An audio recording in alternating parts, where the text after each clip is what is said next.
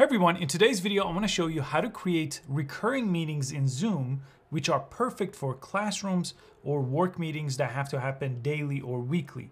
Now, you could do it in three places. The Zoom app on your desktop, you could do it. You could do it on the Zoom mobile app, or you could do it on the Zoom website. I highly recommend you do this on the Zoom website. For some reason, it's completely different in all three places, and the Zoom desktop app is the most confusing because you'll have to set it up on your calendar and not the app. So instead of using this here, I'm gonna use the Zoom website.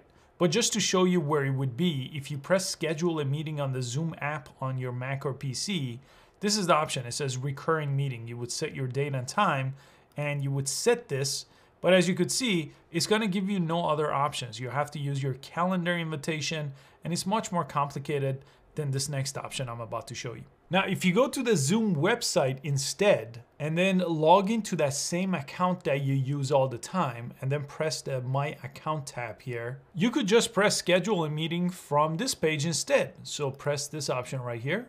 And let me show you why this is so much easier. You would again put in your date and time here, the duration of the meeting, and then here, choose recurring meeting, this tab. But look at this, now I have very clear to understand options. Do I want this to be daily, weekly, monthly, no fixed time? Let's say I want this to be weekly. How many weeks do I want this to repeat?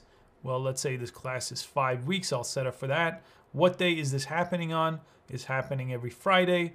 And then is there an end date? Maybe this is a classroom that ends at a certain time. I will put that or after maybe seven times, I would just make sure this ends there. And if you use the Zoom mobile app, it's also very easy because if you just press schedule here and then choose the recurring option, this time it's called repeat on this app. So if you press that, you could choose this to be every day at that time or every week. Now it doesn't have as many options as what I showed you on the website. That's why I recommend the website but it is more clear than the Zoom app on the computer. So if you want to set up a recurring meeting, I highly recommend you go to the Zoom website, which I have linked below at zoom.us and follow the process I just showed you. Log into your account, click schedule a meeting, choose recurring, and then choose everything else that you want. I hope you found this useful. Make sure you check out the other Zoom videos to completely master Zoom, and I'll see you next time.